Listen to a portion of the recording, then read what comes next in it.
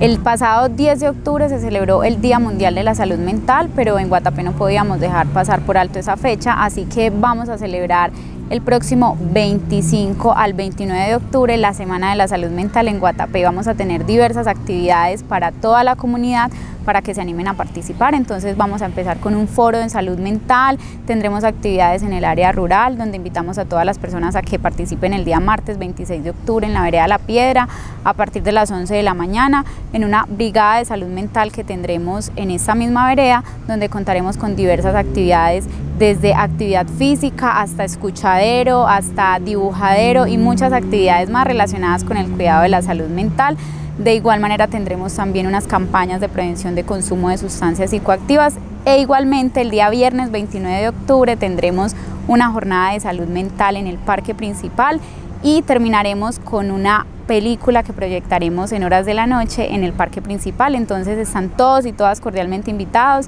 para que se vinculen y participen de todas estas actividades relacionadas con el cuidado de la salud mental, que sabemos que es un tema muy importante y de gran interés para nuestro municipio. Próximamente estaremos compartiendo con todos ustedes la programación oficial donde se les presentarán todas las actividades a realizar durante esta semana para que las difundamos y estemos muy atentos a cada actividad y participemos de ella. Entonces los invito para que formemos todos parte de esta Semana de la Salud Mental.